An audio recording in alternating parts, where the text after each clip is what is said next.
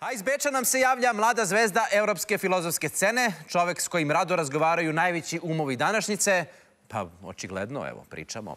Gospodin Srećko Horvat. Srećko, ćao. E, budući da si filozof, ova situacija u kojoj smo osuđeni na sedenje u kući i duge časove razmišljenja, deluje kao idealna prilika da se baviš svojim poslom. Filozofira li se ovih dana? O čemu razmišljaš? Ima li optimističkih misli i zašto ne? Ćao, Zorana.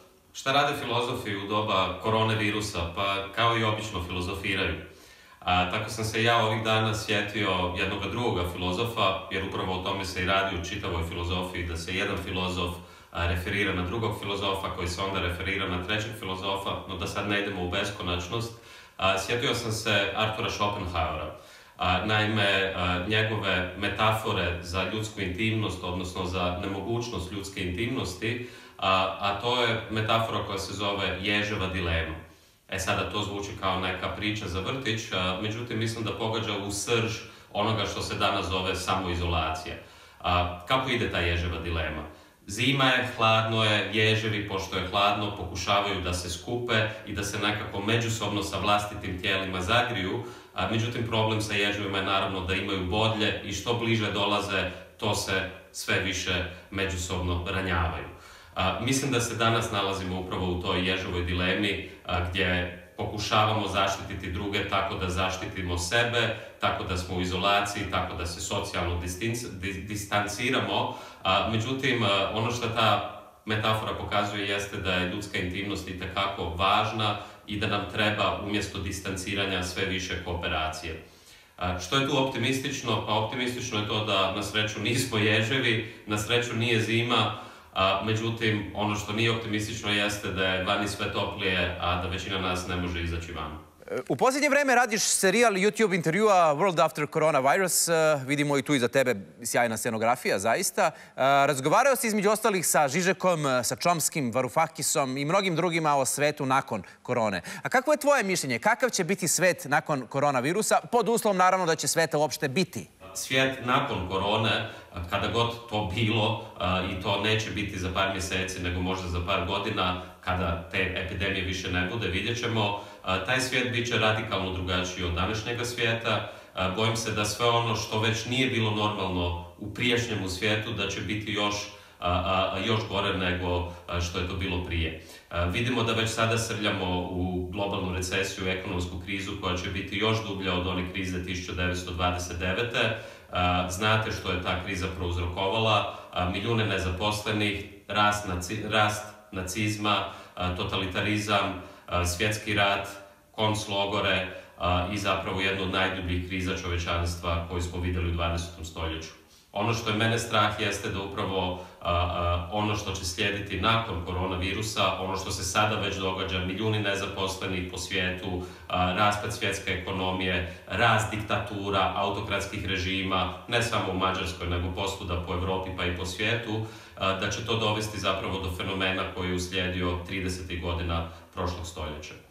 Naravno, situacija nije nužno crna, mislim da trenutno imamo jedan mali vremenski okvir koji je još uvijek otvoren, gdje to može ići i u drugu, drugu situaciju, drugi smjer. Ako postoji ikakva nada koju ja danas imam, premda je to, nema baš puno nade u današnjem svijetu, onda je to nada da će ljudi osvijestiti da upravo treba ulagati u javnu infrastrukturu, u socijalnu medicinu, da treba ulagati u poljoprivredu, u vlastitu proizvodnju i u solidarnost. Ne znam koliko si pratio situaciju ovde, ali ima i lepih vesti. Srbija je tokom pandemije dobila prinovu. Da, da, dobili smo novog brata, to je brat Si, kineski predsjednik, a sa njim smo u paketu dobili i sve kineze za braću i sestre. E, Rusi su nam pali na drugo mesto braće, a Evropska unija i dalje je daleko od pozicije brata. Tu je negde između zle maćehe i komšenice sa kojom razgovaraš samo kad moraš. E, kako komentarišeš ovu našu rang listu bratske ljubavi? Pa ako se ne, ne, ne varam, Zorane, kod tebe sam u emisiji bio prije točno nekih četiri ili pet godina.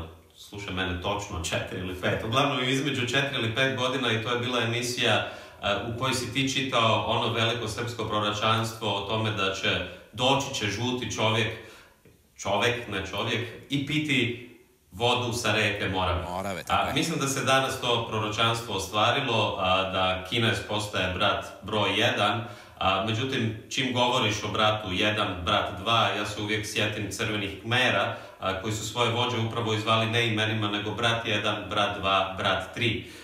Ono što je problem danas u svijetu jeste prije svega jedno potpuno geopolitičko, geopolitička transformacija svijeta, gdje na neki način Kinezi su u budućnosti, mi smo negdje u sredini, a SAD, Brazil, a da ne govorimo o afričkim državama ili Indiji, su negdje u prošlosti. dakle, brat Kinez definitivno je u prednosti, brat Kinez već donosi maske, ne samo da brat Kinez donosi maske, brat Kinez donosi i Huawei tehnologiju, brat Kinez koristi situaciju da naravno nametne svoj geopolitički interes.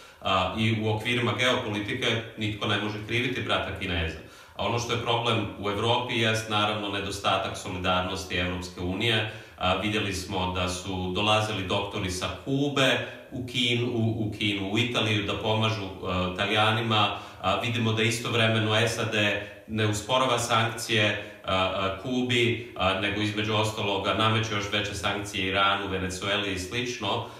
Dakle, dolazi do jedne jako zanimljive geopolitičke situacije koju čini mi se brat Kinez će puno bolje iskoristiti od braće iz Europske unije. Međutim, da budem pesimističan, problem je u tome da ćemo svi mi imati jednog velikoga brata nad našim leđima. E, Srećko, hvala ti. I na kraju, kao i obično, idemo na nekoliko vrlo zahtevnih pitanja koja logično traže i opširne odgovore, ali pošto se kraj sveta ozbiljno primakao, za razglabanje vremena nema i zato krećemo. Srećko, da li će kraj pandemije označiti i kraj Evropske unije? Ma šta ti je Kesiću, nema nikakve šanse. E, hoće li kao najveći diplomatski pobednik iz ovog sranja izaći onaj od koga je sve i počelo, naš brat Kina? Kina? Ma nema šanse. da li će od koronavirusa preminuti demokratija, a živ, zdravi prav ostati nacionalizam? Demokracija je već bila na respiratoru, a bojim se da će nam se zombi nacionalizam još više napiti krvi. I na kraju, šta ćeš prvo uraditi kad ovo prođe? Znaš onaj stari vic, pita dijete tatu, tata, tata, hoćemo li ići ove godine na more? A tata odgovara, možda da, a možda 100% ne. Srećko, hvala ti najlepše, čuvaj se. E, voleo bih e, da kažem da se vidimo uskoro, ali veliko je pitanje kako će se ovo završiti. Ne znam, brinem, brinem, nisam pametan, nisam optimista. Vidimo se. Ćao.